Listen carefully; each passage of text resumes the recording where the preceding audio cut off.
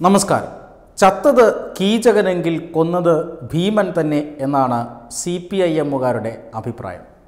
അതായത് കഴിഞ്ഞ ദിവസം സി പി ഐ എമ്മിന്റെ Palakkad മലമ്പുഴയിൽ Marutha road branch secretary Shajahan അതിക്രൂരമായി വെട്ടി കൊലപ്പെടുത്തി ഷാജഹാനെ ആരോ.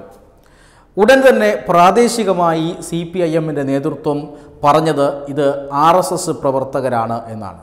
അതായത് ആർ എസ് എസ്സുകാരനെ വധിച്ച കേസിൽ പ്രതിയാണ് ഷാജഹാൻ. അതുകൊണ്ട് തന്നെ ആർ എസ് എസ്സുകാർ നൽകിയ തിരിച്ചടിയാണിത് എന്ന രീതിയിൽ സി പി ഐ എം വിലയിരുത്തുന്നു. കാര്യങ്ങൾ അറിയാതെ കാര്യങ്ങൾ എന്താണ് എന്ന് മനസ്സിലറി മനസ്സിലാക്കാതെ വാസ്തവമെന്ത് എന്ന് മനസ്സിലാക്കാൻ ശ്രമിക്കാതെ കണ്ണുമടച്ച് ആർ എസ് എസിനെ പ്രതിയാക്കുന്ന ഒരു രീതിയാണ് സി പി ഐ എം ഇപ്പോഴും കേരളത്തിൽ തുടരുന്നത് എന്നുള്ളത് വളരെ അതിശയകരമായ ഒരു വസ്തുതയാണ്. കാരണം സി പി ഐ എം കേരളത്തിലെ പ്രബലമായ ഒരു രാഷ്ട്രീയ പാർട്ടിയാണ്.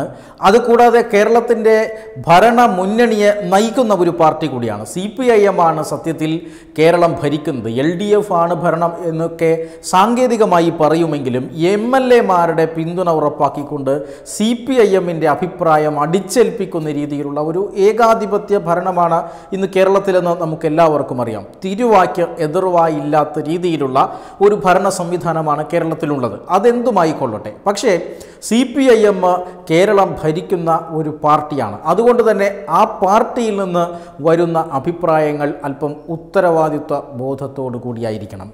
കേരളം രാഷ്ട്രീയ കൊലപാതകങ്ങൾക്ക് പേര് കേട്ട ഒരു നാടാണ്. കേരളത്തിൽ ഇപ്പോഴും രാഷ്ട്രീയ കൊലപാതകങ്ങൾ അവസാനിപ്പിക്കാൻ കഴിയുന്നില്ല എന്നുള്ളത് ഭരണകൂടത്തെ സംബന്ധിച്ചിടത്തോളം ഒരു പരാജയമാണ്.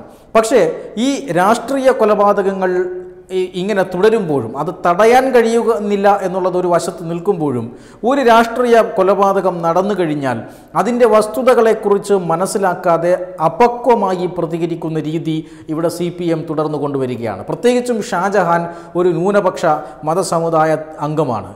കൂടാതെ ആർ എസ് എസ് ആണ് ഇതിന് പുറകിൽ എന്ന് ഒന്നും അറിയാതെ വിളിച്ചു പറയുമ്പോൾ സമൂഹത്തിൽ വലിയ രീതിയിലുള്ള പ്രശ്നങ്ങൾ ഉണ്ടാകാനുള്ള സാധ്യതയുണ്ട്. പക്ഷേ പോലീസിന്റെ അന്വേഷണത്തിൽ തെളിഞ്ഞിരിക്കുന്നു. അവിടെ ആർ എസ് എസിന് ഈ കൊലയുമായി യാതൊരു ബന്ധവുമില്ല.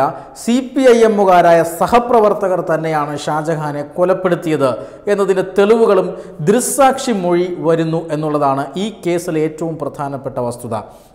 അതായത് ഷാജഹാനെ വെട്ടിക്കൊലപ്പെടുത്തുന്നു രണ്ടുപേർ അനീഷ് അതുപോലെ തന്നെ ശബരി എന്നിങ്ങനെയുള്ള രണ്ട് സി പി ഐ എം പ്രവർത്തകർ തങ്ങളുടെ ബ്രാഞ്ച് സെക്രട്ടറിയെ വെട്ടിക്കൊലപ്പെടുത്തുന്നതിന് ഒരു ദൃക്സാക്ഷിയുണ്ട്. ആ ദൃക്സാക്ഷി പറയുന്ന വിവരമനുസരിച്ച് ഈ രണ്ട് കൊലപാതകികളും ഷാജഹാനെ വ്യക്തിപരമായി ഉണ്ടായ തർക്കത്തിന്റെ പേരിൽ വെട്ടിക്കൊലപ്പെടുത്തുകയാണ് എന്നതാണ്. അതായത് ഈ കൊലപാതകത്തിന്റെ കാരണം അന്വേഷിച്ചാൽ അത് കേരളീയർക്ക് വളരെയധികം തമാശയായി തോന്നാവുന്ന കാരണമാണ്. ഒപ്പം മനസ്സിലൊരു ആശങ്ക കൂടി വന്നേക്കാവുന്ന ഒരു കാരണമാണ്.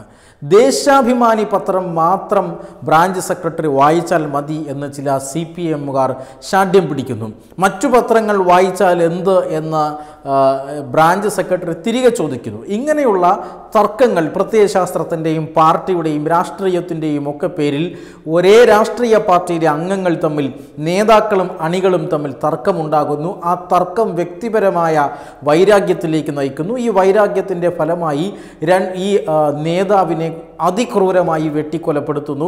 ദൃസാക്ഷിയായ മനുഷ്യനു നേരെയും ആക്രമണ ശ്രമം ഉണ്ടാകുന്നു എന്നാണ് ഈ ഘട്ടത്തിൽ ഈ കേസിന് ഉപോത്ബലകമായി വരുന്ന ഒരു സാക്ഷിമൊഴി എന്നാണ് പുറത്തു വരുന്ന റിപ്പോർട്ടുകൾ. അങ്ങനെയാണ് എങ്കിൽ സി പി ഐ എം ഇതുവരെ ആർ എസ് എസിനെതിരെ പറഞ്ഞത് അല്ലെങ്കിൽ ആർ എസ് എസിനെതിരെ ഉയർത്തിയ ആരോപണങ്ങൾ അത് പിൻവലിച്ച് മാപ്പ് പറയേണ്ടി വരും. പ്രത്യേകിച്ചും ഒരു ന്യൂനപക്ഷ സമുദായ അംഗമായ പാർട്ടി പ്രവർത്തകൻ കൊല്ലപ്പെടുന്നു. ഒരു നേതാവ് തന്നെയാണ് അദ്ദേഹം ബ്രാഞ്ച് സെക്രട്ടറിയാണ്.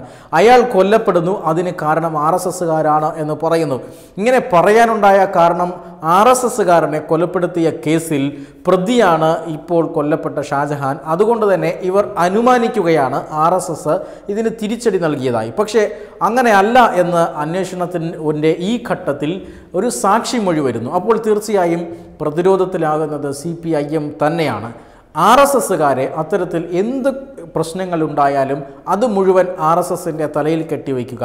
സി പി ഐ എമ്മിന്റെ സംസ്ഥാന ആസ്ഥാന മന്ദിരത്തിന് നേരെ ആക്രമണമുണ്ടാകുന്നു പടക്കമേറുണ്ടാകുന്നു. അത് യാതൊരു വസ്തുതാപരമായ തെളിവും കൂടാതെ തന്നെ അത് കോൺഗ്രസിന്റെ തലയിൽ കെട്ടിവെക്കുന്നു നാടെങ്ങും ഇതിന്റെ പേരിൽ കലാപം അഴിച്ചുവിടുന്നു. കോൺഗ്രസ് ഉൾപ്പെടെയുള്ള രാഷ്ട്രീയ പാർട്ടികളുടെ പ്രതിപക്ഷ രാഷ്ട്രീയ പാർട്ടികളുടെ ഓഫീസുകൾ ഈ കേരളത്തിലുടനീളം കമ്മ്യൂണിസ്റ്റ് അനുഭാവികൾ തകർക്കുന്നു. ഇതിനൊക്കെ കാരണം നേതാക്കളുടെ വിടുവായത്വമാണ്. എന്താണ് കാര്യമെന്ന് മനസ്സിലാക്കാതെ ഉത്തരവാദിത്വരഹിതമായി പ്രതികരിക്കുക. ഇവിടെയും അത്തരത്തിലൊരു സംഭവമാണ്. ഈ കുറ്റകൃത്യം സി പി ഐ എം നേതാക്കൾ അറിഞ്ഞുകൊണ്ടാണോ ആർ എസ് എസിന്റെ തലയിലേക്ക് ഇടുന്നത്? അതോ അറിയാതെയാണോ ഇടുന്നത് എന്ന് അന്വേഷണത്തിൽ തെളിയേണ്ട കാര്യമാണ്. എന്തായാലും ആഭ്യന്തര വകുപ്പ് കൈവശമുള്ളത് സി പി ഐ എമ്മിന്റെ കയ്യിലാണ്. ഇത്തരം കൊലപാതകങ്ങളും രാഷ്ട്രീയ ആക്രമണങ്ങളും നടക്കാതെ നോക്കേണ്ട ചുമതല സി പി ഐ എമ്മിന്റെ കയ്യിലുള്ള ആഭ്യന്തര വകുപ്പിനുണ്ട്. ഇനി അഥവാ ഒരു വീഴ്ച എന്ന നിലയിൽ ഇത്തരം ആക്രമണങ്ങൾ നടക്കുകയാണ് എങ്കിൽ കൂടി പക്വതയോടുകൂടി പ്രതികരിക്കാനും വസ്തുതകൾ അന്വേഷിച്ച് കണ്ടെത്താനും ഒരു ഉത്തരവാദിത്വമുള്ള രാഷ്ട്രീയ പാർട്ടി എന്നുള്ള നിലയിൽ ഇനിയെങ്കിലും സി ശ്രമിക്കേണ്ടതുണ്ട്. വെബ് ഡെസ്ക് തത്തുമയി ന്യൂസ്.